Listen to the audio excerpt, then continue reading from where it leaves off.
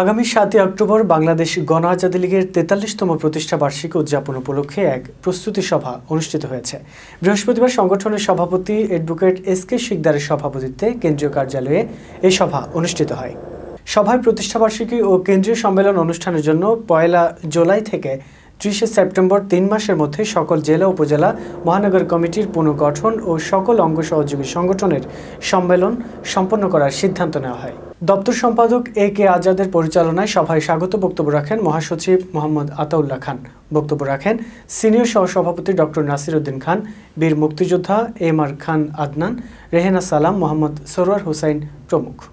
এই উপমহাদেশে উনি যে সময় রাজনীতি করেছেন ব্রিটিশ আমল থেকে, সেই ব্রিটিশদের বিরুদ্ধে মাত্র সতেরো বছর বয়সেই একটা লঙ্কা কাণ্ড ঘটিয়ে দিলেন।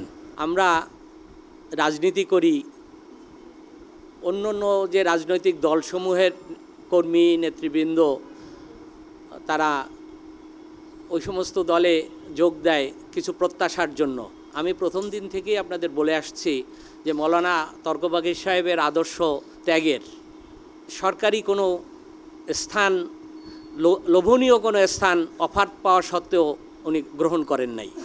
মাননীয় সভাপতি আজকে যে ডিগলারটা দিচ্ছেন, আজকে আমাদেরকে উজ্জীবিত করেছে। আমরা এখানে যারা আছি, কাজ করি, তো দুজন থেকে যদি আমরা আজকে তিন হাজার জন হতে পারি, আজকে এখানে আমরা চল্লিশ জন আছি। তাহলে আমরা যদি এই বাকি সময়টা কাজ করি, আমরা আগামীতে, আগামী সাতই অক্টোবরের মধ্যে আমরা মাননীয় প্রধান, আমাদের সভাপতির নেতৃত্বে আমরা বাংলাদেশে আরও সক্রিয় এবং একটি শক্তিশালী একটি রাজনৈতিক দল হিসেবে প্রতিষ্ঠা পরিচিতি লাভ করতে সক্ষম হব বলে আমি বিশ্বাস করি। আমরা কিছু পাওয়ার জন্য আসি নাই। আসলে যদি দেওয়ার জন্য যদি থাকে, মন থাকে, আমরা সে সবাই চেষ্টা করব যেন কিছু দিতে পারি। অন্তত এই যে আপনাদেরকে, আমরা কিছুই দিতে পারি না, কিন্তু অন্তত ভালোবাসাটা তো দিতে পারি। আমাদের তো ভালোবাসা যেটুকু আছে, সেটুকু কিন্তু আপনাদের প্রতি আমাদের সেটা আছে।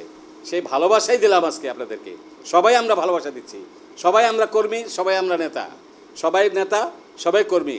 সবার প্রতি সবার ভালোবাসা এবং আমরা দলটাকে একটা সাংগঠনিক শক্তি সম্পন্ন একটা দল হিসাবে এবং ওইভাবে পরিচিত হবে। আস্তে আস্তে দল সংগঠিত হবে, দল পরিচিত হবে। কারোর অংশ হবার থেকে নিজের পরিচয়টা অনেক বড়।